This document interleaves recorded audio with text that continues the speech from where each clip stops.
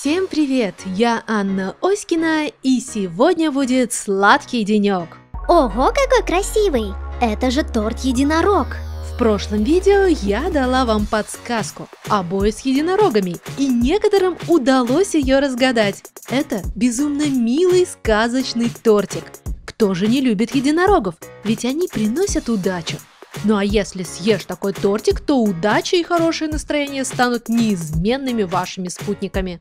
Скорее пойдем пить чай. Я уже и чайник заварила. В предыдущем видео у нас случилось происшествие. Клодин поставили подножку, а Дракулаура получила торт в лицо. И в конце видео вы узнаете, кто поставил подножку Клодин, на кого подумало большинство. А еще вас ждет новый розыгрыш – так что смотреть до конца. А сейчас будем творить волшебство. Для работы мне понадобится белая и бежевая полимерная глина Фима.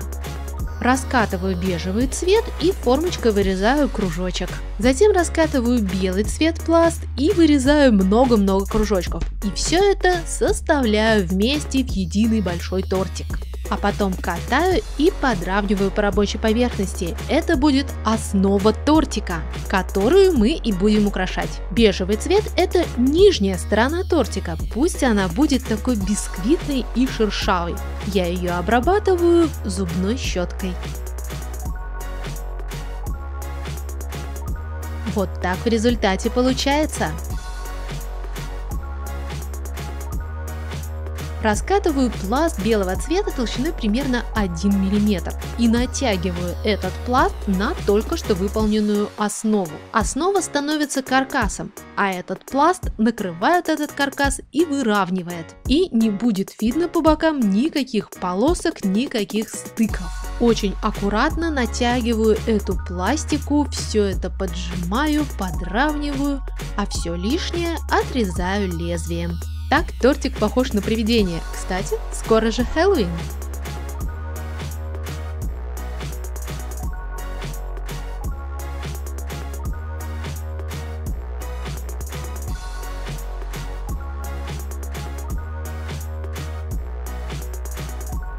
Чтобы поверхность была ровной и чистой, я протираю ее влажной салфеткой и окончательно выравниваю этот тортик. А потом отправляю запекаться чтобы его больше не повредить, на 20 минут при температуре 110 градусов.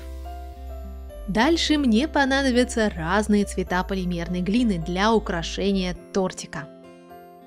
Беру маленькие кусочки каждого цвета и добавляю большой кусочек белого и перемешиваю все эти цвета по отдельности. Фиолетовый с белым становится сиреневым, белый с красным – розовым. И таким образом осветляем все цвета, получая нежные оттенки. Вот что у меня получилось. Из этих цветов сделаем маленькие розочки, которые станут украшением гривы единорога. Раскатываю, колб... Раскатываю колбаску и нарезаю ее на много частей. Эти части нужно расплющить в маленькие блинчики. Катаю в шарик, кладу на маленький листочек бумаги, накрываю другим и прижимаю лезвием. Поднимаю листок бумаги, получается блинчик. Снимаю его при помощи лезвия.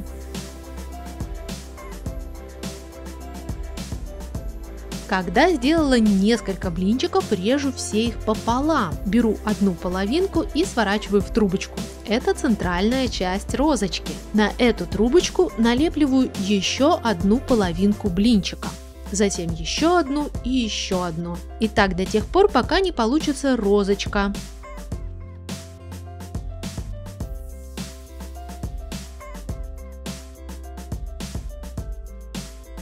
Вот такой цветочек получается. И таким образом нужно сделать много-много цветочков. Я делала так. Сначала нарезала один цвет, сделала много-много блинчиков одинаковых, затем все эти блинчики резала пополам, а затем уже сворачивала розочки. Мне кажется, что так быстрее всего. Теперь у меня есть розочки разных цветов, и мне понадобится золотая полимерная глина. Беру два золотых кусочка и катаю их в длинные капельки.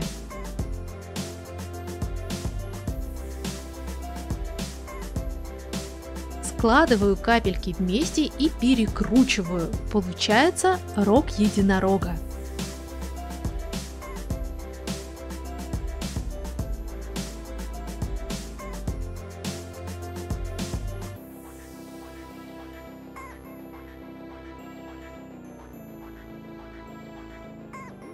Аккуратно его подрезаю. Беру два кусочка белого цвета, катаю из них капельки и эти капельки расплющиваю.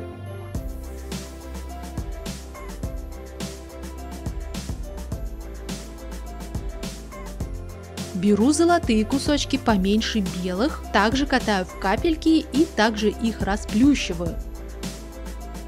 Помещаю золотые капельки на большие белые и чуть-чуть прижимаю толстый край. Получаются уши единорога.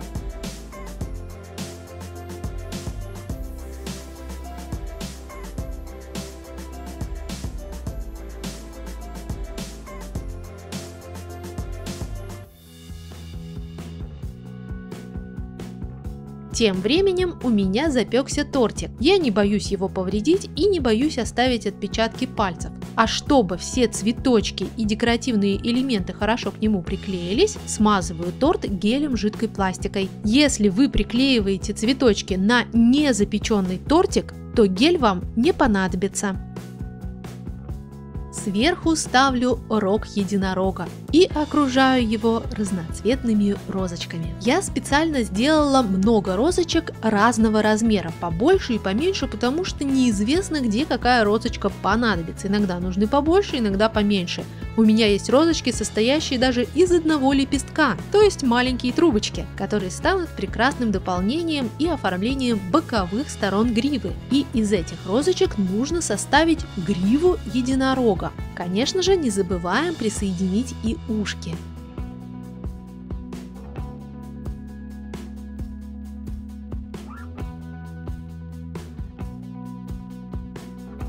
Делаю единорогу челочку из цветочков и веду гриву сзади вниз и чуть-чуть загибаю вперед. Устанавливаю много-много цветочков.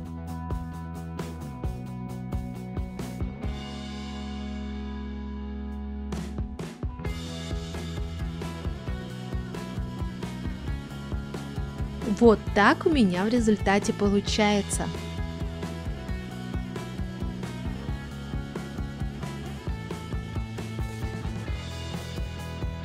Теперь беру черную полимерную глину, катаю длинную тонкую колбаску ниточку. От этой ниточки отрезаю две полосочки побольше и много маленьких. Большие станут глазами, а маленькие ресничками.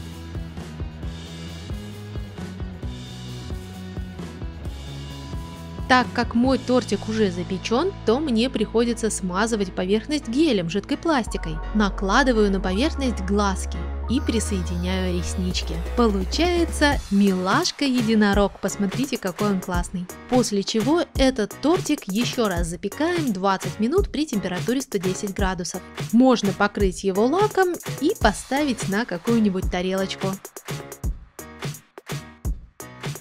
В результате у меня получился сказочный, милый и сладкий торт-единорог, который обязательно принесет удачу и в качестве тортика для кукол, и в качестве милого сувенира на память. А если приделать колечко, то получится отличный брелок. Включайте фантазии и творите. А сейчас узнаем, кто же поставил подножку Кладин в прошлом видео. В голосовании приняли участие 8001 человек и 6807 человек, а это 85% между прочим, подумали на Пушинку. Пушинка, зрители подумали на тебя. Тебя нужно наказать. Остаешься без игрушек и иди в угол.